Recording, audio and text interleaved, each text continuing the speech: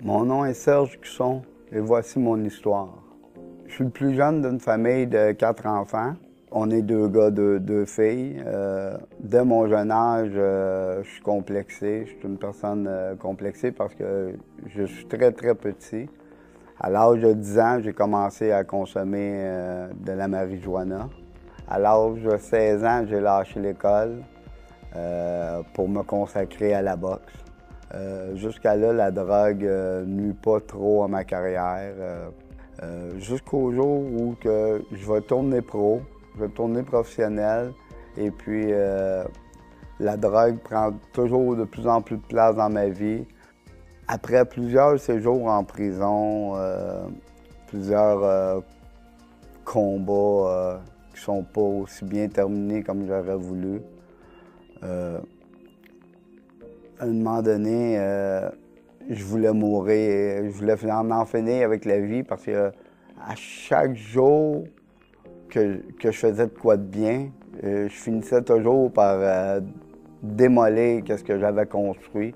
J'étais peu heureux, moi, la manière que j'essayais de me suicider, c'était par des injections de cocaïne. Ça veut dire que je me gardais euh, une grosse bâche pour la fin. Je me disais que dans le shoot, c'était pour être le bon. J'ai jamais été capable. Soit ma seringue, à bloquer, la coke, elle se diluait plus bien il y avait de quoi de plus grand pour moi. Dans ce temps-là, j'avais une copine, euh, son frère était chrétien, et puis euh, lui priait pour moi, puis il priait, puis euh, sa prière a porté du fruit à un moment donné. il est venu me sortir quand un coup j'étais dans un de mes bas-fonds incroyables. J'étais, je voulais mourir, puis là, je l'ai appelé, puis je lui ai dit il faut que tu viennes me chercher là, pas demain, là, parce que là, je suis pas en contrôle, puis euh, je sais pas ce que je vais faire. Puis si tu viens me chercher tout de suite, mais là, on, pourrait s'arranger. Puis lui m'avait parlé d'une place qui était Défi Jeunesse euh, Team Challenge. Quand j'étais à Défi Jeunesse, euh, Dieu a commencé à mettre ses, fondements chrétiens en moi. Il m'a appris à prier, m'a appris à, avoir, à développer une relation avec lui. J'ai vécu un deuil euh, depuis que je suis devenu chrétien. Euh, mon frère, qui était mon idole, qui était mon héros, qui avait été un, second père pour moi, euh, c'était vraiment mon modèle. C'est mon frère Mario Cusson. Puis il s'est enlevé la vie une couple de mois après mon mariage. j'ai été, été dévasté il a choisi de mettre fin à ses jours euh, de façon euh, dramatique. Moi, je pourrais essayer de vous expliquer qu'avec avec Dieu, j'ai passé au travail. Euh, oui, c'est avec Dieu que j'ai passé au travail. Mais comment ce qu'il a fait, pour, je peux pas vous le dire.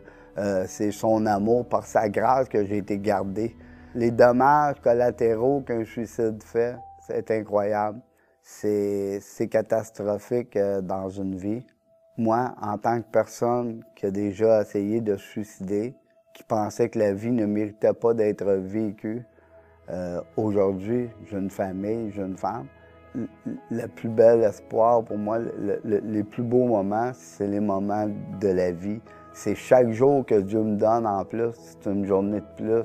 C'est aujourd'hui, je veux vivre. Aujourd'hui, je veux vivre heureux, je veux vieillir avec ma femme. Je veux voir ma fille se marier, je veux voir ma fille graduer à l'école. C'est vraiment ça, le, plus beau cadeau que j'ai aujourd'hui, c'est la vie. Aujourd'hui, je suis, reconnaissant euh, à Dieu pour ça, puis de m'avoir gardé. J'ai essayé de m'enlever la vie, pour aujourd'hui, je veux plus mourir. Mon nom est Serge Cusson et c'était mon histoire.